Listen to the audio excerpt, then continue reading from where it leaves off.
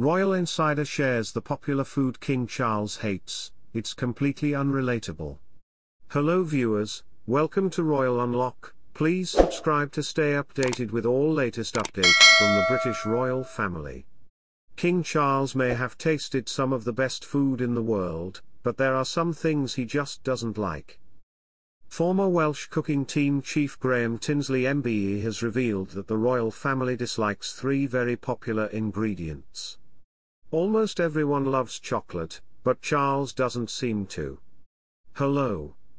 Graham said, King Charles doesn't like chocolate, he doesn't like coffee, he doesn't like garlic. So we had to really think about those things when creating the menu for him.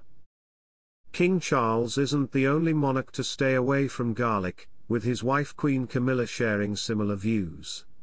She said, I can't stand chili, raw or cooked. I'm also not a fan of offal, except for the very good liver. I also avoid chili and garlic unlike my son. But in another interview, Camilla said that garlic is not eaten so much for the smell as for the smell. When Camilla appeared on MasterChef Australia, she was asked what ingredients she didn't want to see on trays at a royal reception. She replied, I hate to say it, but garlic. Garlic is contraindicated. When you meet a lot of people, you have to give up garlic, she confirms. Although King Charles isn't a big fan of chocolate, coffee or garlic, there's one food that keeps him coming back for more. King Charles was a big fan of poached eggs, a type of boiled egg that was boiled for just 2 to 3 minutes.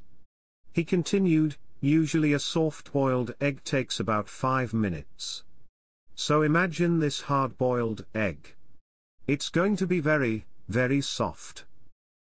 The king's specialty salad includes a hard-boiled egg that has been peeled and hidden under a lettuce leaf. He allegedly mixed them together to create a mayonnaise-like consistency. Thank you so much for watching this video, don't forget to subscribe and make sure to press the bell icon to get notifications when I upload a new video.